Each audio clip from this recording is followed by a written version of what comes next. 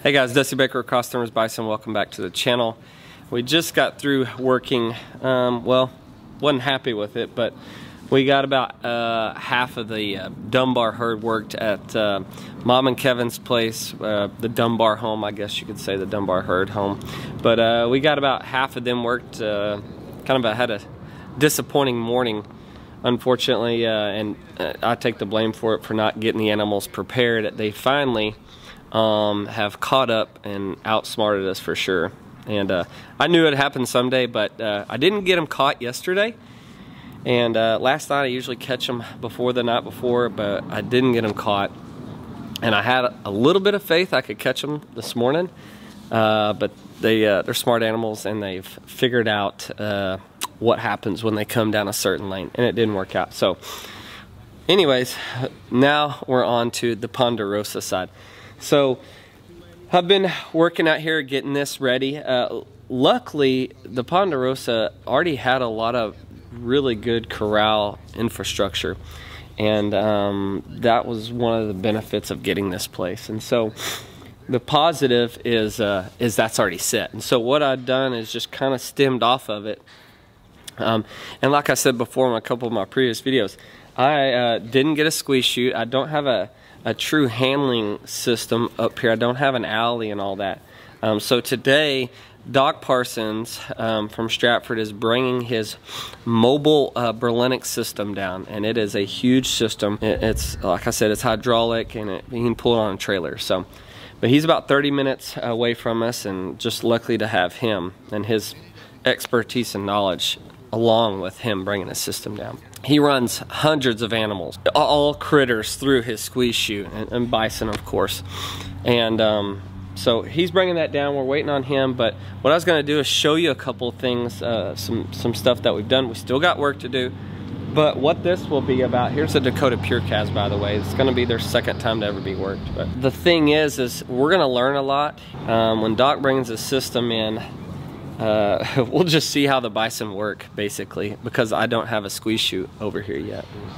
Um, we've got some learning to do, just like I had learned this morning, always learning. But um, so after today, we'll have a good idea of how the bison to react to these pins and what's the best way to work them. And I'm sure we'll make changes to it in the future. But uh, today will be a good base um, at, for working the bison for the first time at the Ponderosa. So um, I've been got some freestanding panels put together is what I've got. Um, and, and we're working the Big Joe herd, which is, I've only got nine, and then the Dakota Pure Calves there's uh, 11 of them, and Hoss is included in that. Here, let's let these guys out. What are you doing? Okay. Look at him laying down. This is a, well, here's the big Joe herd. I caught him. It, it didn't take much to catch them. I've been letting them come in this pen actually, and I prepared to catch them. I didn't do a very good job of preparing the Dunbar herd to get them caught. But uh, this is this is what we want. We want them over here chilling and relaxing, uh, not stressed out. This is awesome because in just a little bit when we get them up and we get them pushing, we start pushing them, they'll get worked up. But this is a this is a good relaxing state before they get worked. Um, so, but what we did is we made a couple adjustments. Um, I put a gate in to get them on that side of the barn is one thing I did. But uh, we went ahead and put the rubber um, conveyor belting across here and just uh, one of the reasons we did that on that side is one this is a pressure point this is where we push them and uh, you know they want to go out they want to get out and so this kind of deters them from seeing the pasture so that they um, won't try to go out and they'll spin on you and come back out so that's why we block that side out and try to push them through here put a new gate up with an overhead a solid gate. I still got a little bit of um, sheet metal to put on. That'll swing open to us so they can go in. And then as they go in, you catch them with the swing. And it's, I guess, a bump gate. It hits them in the butt. And you can latch it right there. And so uh, that's something uh, that I also did. But really, um, I built a pen that I've had for a while with freestanding stainless. I haven't done a lot of um, infra infrastructure work wise on the handling system on these uh, panels, and, or sorry, on the corral, uh, you can see this is a lot of existing stuff, and this is this is two and seven eighths pipe. This stuff is solid. These are old school, uh, heavy duty cow panels welded on here, and uh, yeah, you got a two and seven eighths upright, a two and three eighths top rail, and this stuff has been here for a while. Actually, my stepdad Kevin built these. I don't even know how long ago, but um, we we actually may use this eventually, and this is what I use to load out um, some of the Texas animals to go get worked, and uh, this is where I sold some of them. They came through here, so. Um, I am happy about this and we may have to use this in the future so with a couple of uh, adjustments so really haven't had to do a lot of changes but and we got our boy here Hoss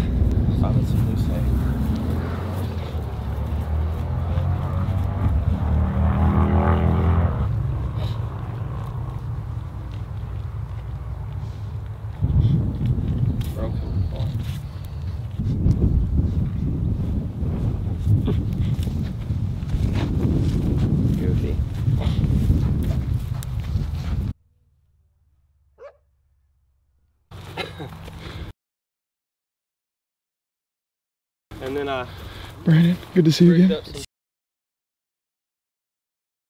freestanding panels here to tag into your stuff. Ready for another day's work? Oh yeah. Those are the ones I got. This out and bring that one over. No, no, no. I'm Oh. the push. I either need to drive out there Yeah, I'm just pick them up and move them. and then I can just pull up in here so far Okay. and we can stop it wherever. Okay. And then I can unhook and go on out that way and, and just Pick it up. sit out there till we get ready to go. Okay.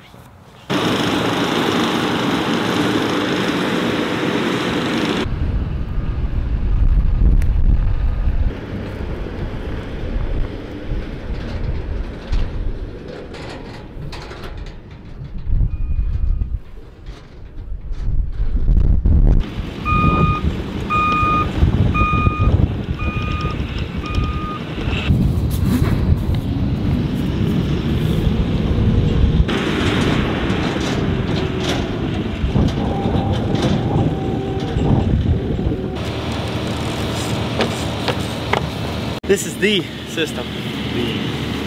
No shit. Just a hydraulic squeeze chute would be nice. Makes a world of difference. You'll see it today. The speed, safety, noise, everything. Just got to get them here.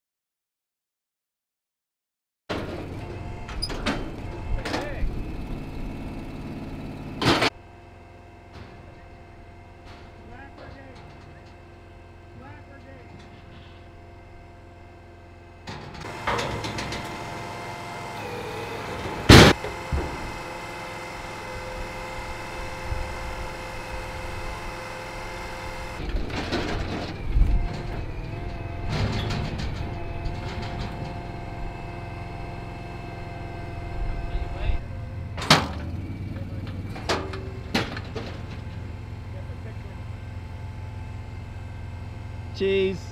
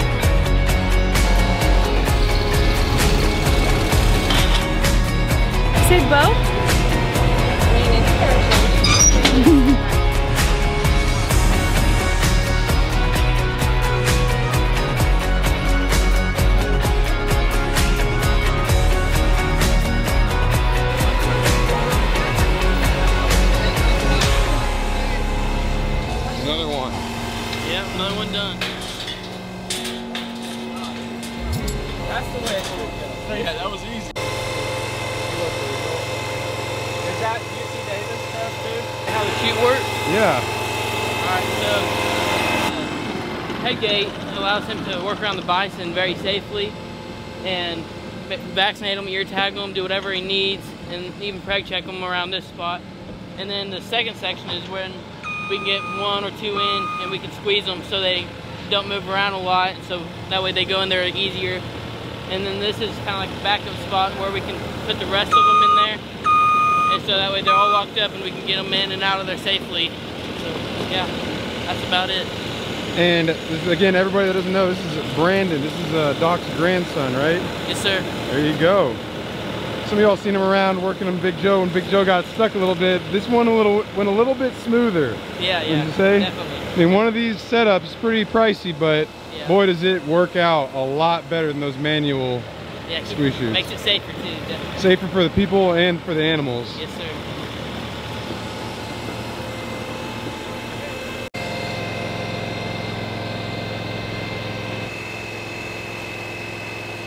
First time working the animals at the Ponderosa and it worked great.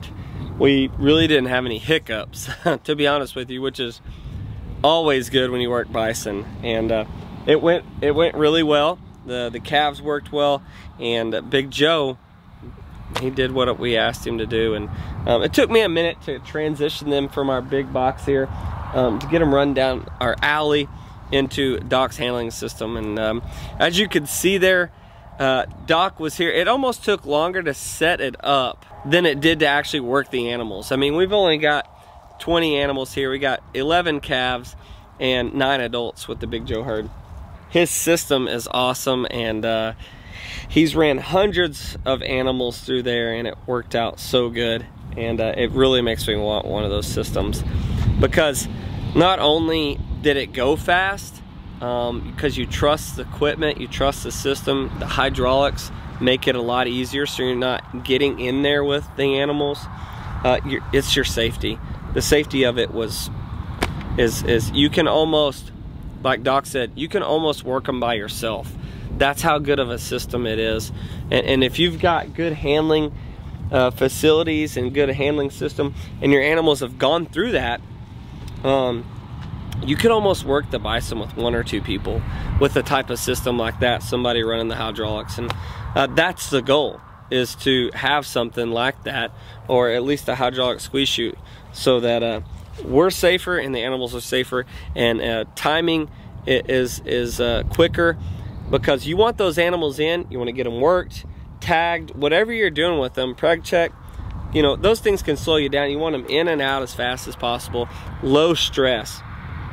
And so that's my goal is to have a low stress environment for these animals and uh, good equipment. I think everything went pretty smooth um, here at the Ponderosa. It actually went better than it did at the at the uh, Dunbar place, but uh, and that's that's my fault because uh, I didn't prepare to catch them ahead of time.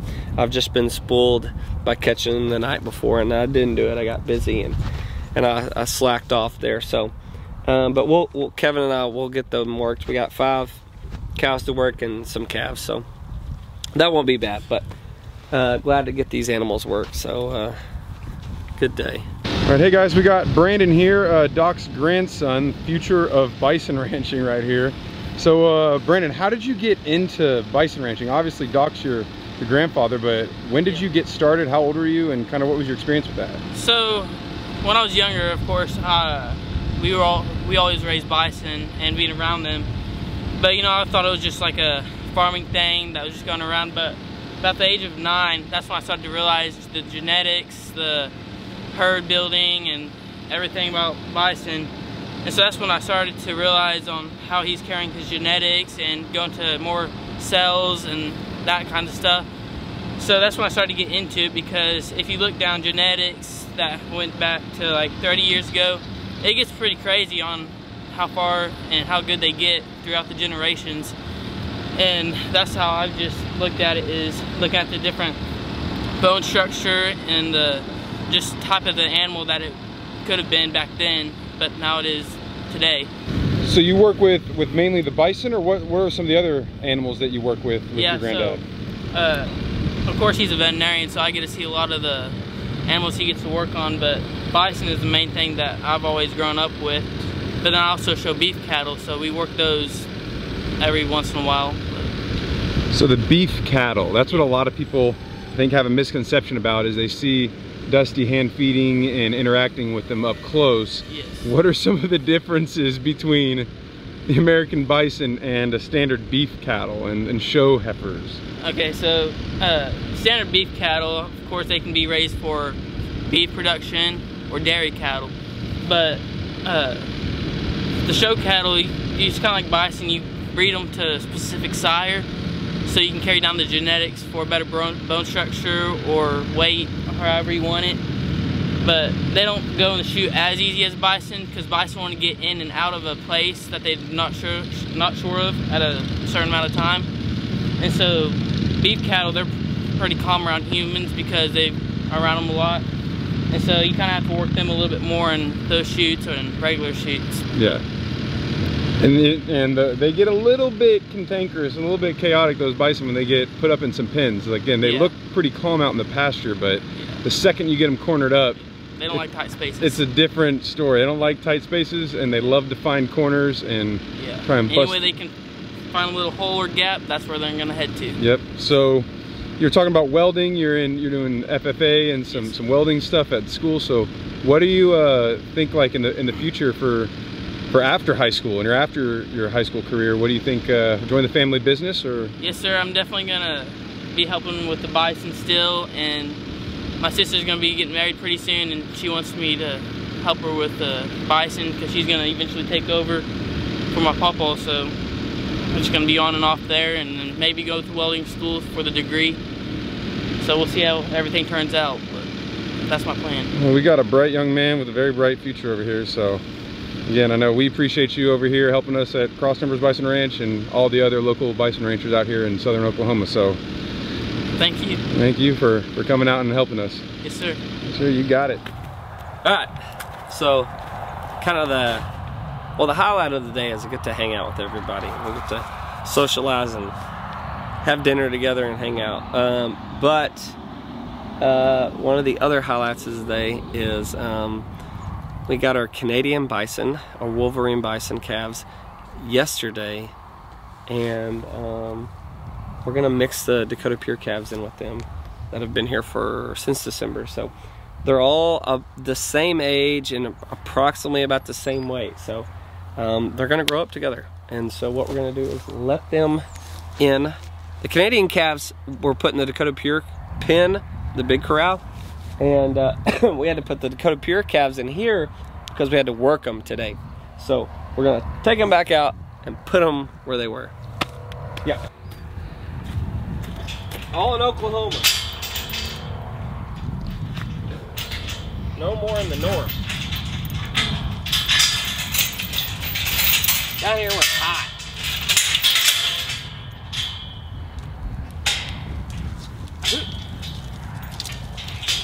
Come on, Cam.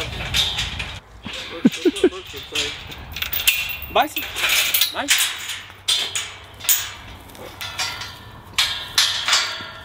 Come on, boss. Come on.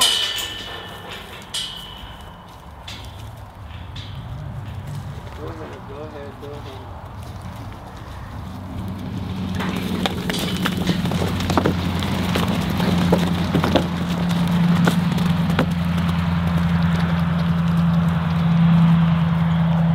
They're like, whoa, what's going on over there?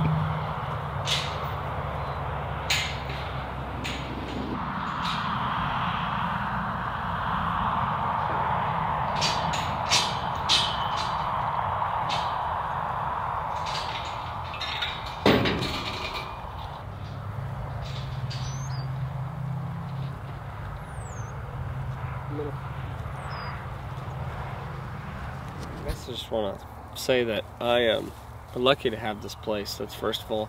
I feel like this setting that we're at right now is the sun setting and stuff. Such a pretty spot. Just very thankful to have this place. And big day. Got the Dunbar herd partially worked. That's another story. But um, it's nice to finally had our first handling, our first working um, at the Ponderosa. Little little nerve wracking doing it at a new place that we haven't done it before, and uh, I thought it went really smooth.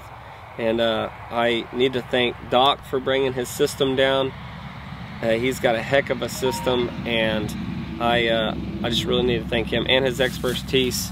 He's he knows so much about bison, and having him right here on the property is it's a huge deal. He's 30 minutes from me. And uh, he brought Brandon with him, his grandson, and, and, he's a smart kid, and he helped him today. And he actually ran the hydraulic chutes. I didn't mention that, but uh, uh, that's awesome to see a young young kid like Brandon. He's a freshman, um, and uh, I appreciate him coming today. I want to thank my guys Cole and Chandler for always coming and filming and getting into stuff they never know what they're going to get into for sure. Uh, and today it's been a long day. Worked you know, Dunbar, part of the Dunbar herd, and all, went through some shenanigans there, and then came over and got everything set up, and Doc brought his system down, and, and we got we got all the Big Joe herd worked, Big Joe, and the uh, eight cows uh, went with him, four cows, four yearling heifers, and then uh, we got the Dakota Pure calves, 11 of them, um, including Hoss is in that group, got them worked, and uh, I think it took maybe an hour to actually work them.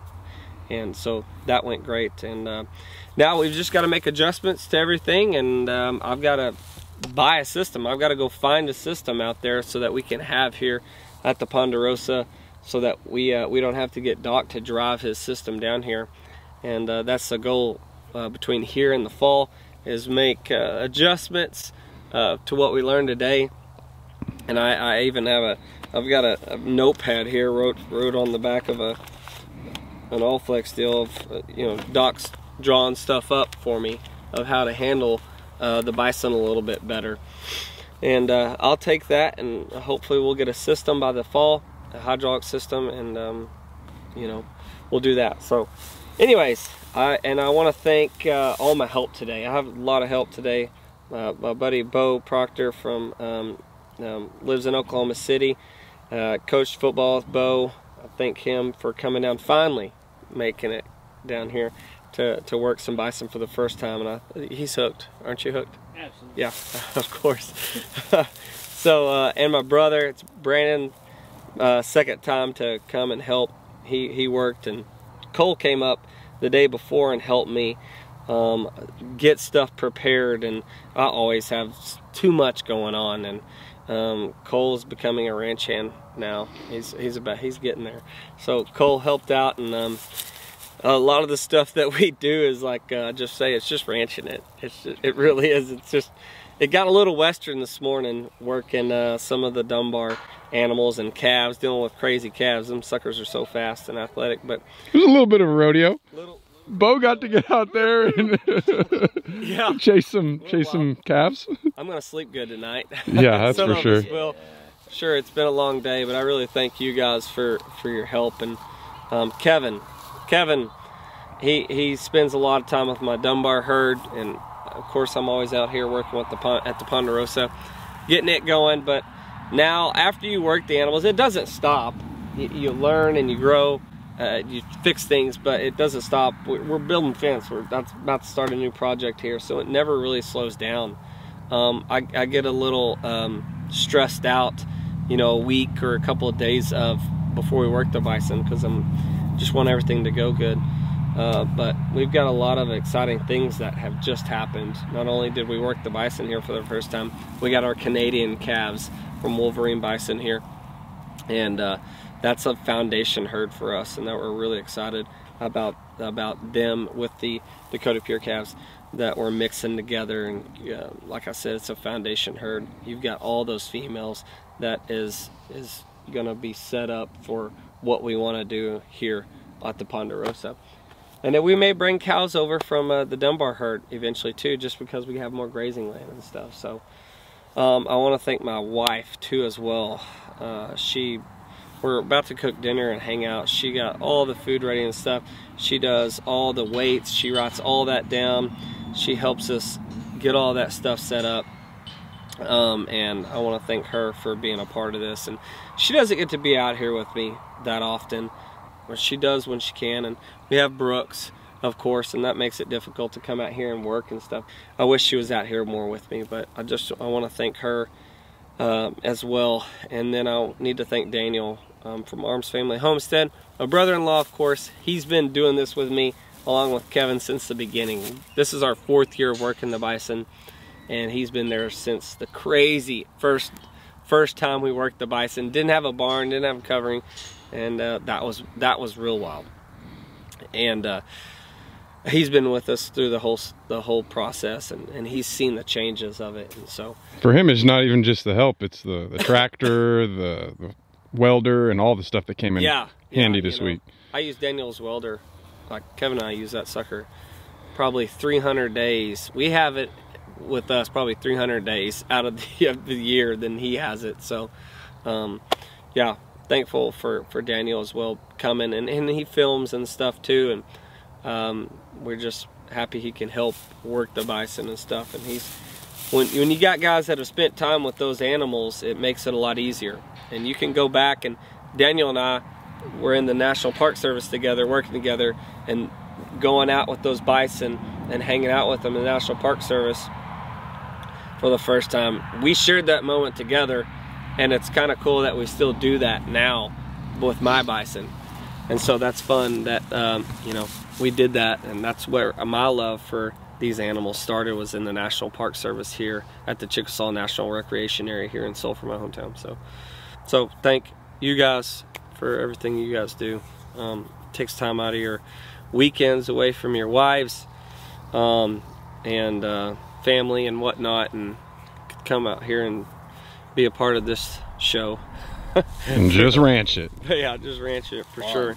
But uh, yeah, it is fun and it's it's community. It's fun to be a part of, and um, you know, aunt and uncle showed up to come hang out with us because they live down the road.